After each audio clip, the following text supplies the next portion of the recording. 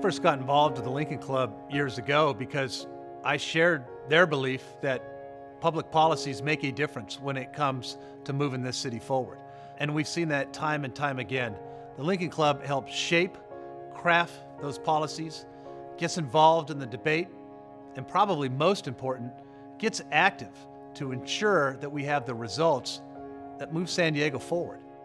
The Lincoln Club has really changed the game over the last uh, couple of decades. I mean, I, I think uh, business has always had a kind of a tough time in becoming organized politically, and the Lincoln Club really changed that. You know, sometimes I think the business community feels left out of the debate. And the Lincoln Club has been a strong advocate for issues that affect businesses. And without these businesses that support this great economy, uh, we're nothing. And the Lincoln Club has, has provided a, a true voice for them.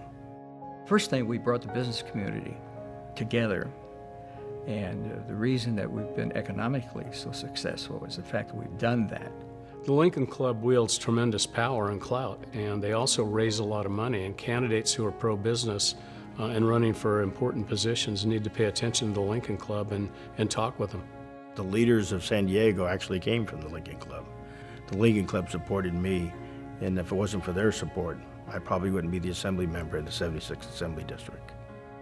In my race, uh, I was a, a small business owner and the Lincoln Club members uh, recognized that I understood business. I was a business owner myself, and they were very supportive. They were one of the pillars of um, the campaign and one of the reasons that I won you know, the city council seat. Well, I got involved with the Lincoln Club as a business owner because I was realizing that I was losing a lot of clients out of the city because of political decisions that were being made. So I figured it was time for me to get involved, and I joined the Lincoln Club. Well, I um, started off with a, uh, a, a, great golf game with uh, the president, Bill Lynch, uh, and that was a, long, a, while ago. And we talked about what is important uh, as a uh, elected official to uh, to address. You know, I've, I've come to, to find them as being great allies to me at City Hall and also now in, in the private sector. They started the, the, formation of business getting together and actually becoming much more active. And uh, the chamber has really relied on the Lincoln Club to show us the way to go on that. So we're, we're grateful for what they started.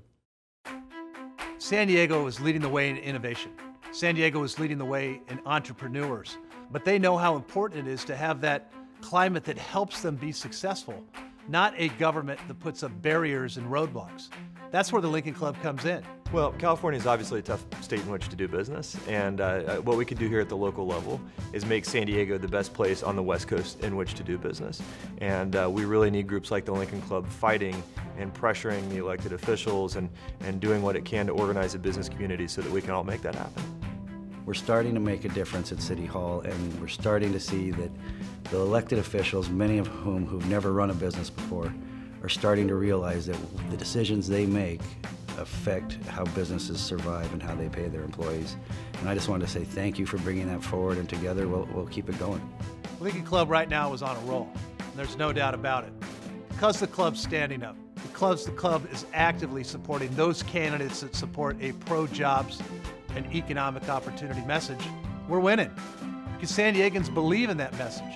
So when we look at the victories of Mark Kersey, Lorie Zapf, Scott Sherman, and soon to be Chris Cate. That's why the Lincoln Club is so important. Well, the Lincoln Club clearly has staying power, and uh, it's really evolved over the last 30 years. But uh, the fact that it's still here, that it's still strong, in fact, it's probably stronger than ever, uh, I think speaks to the quality of the leadership as well as the quality of the members. These are people who get it, and they are a great avenue to just stay connected, be involved, have a voice, and be just a, a part of a, a, really dynamic group of people. Now they're even actually breaking out and uh, reaching out into these urban communities that they feel that you know they should have a voice there too, and I think that's very important. I think the Lincoln Club is doing a great job. And the work that Ryan Clumpner is doing as the executive director, I think is, has the club prepared to go to the next level in ensuring that we have economic prosperity across the San Diego region.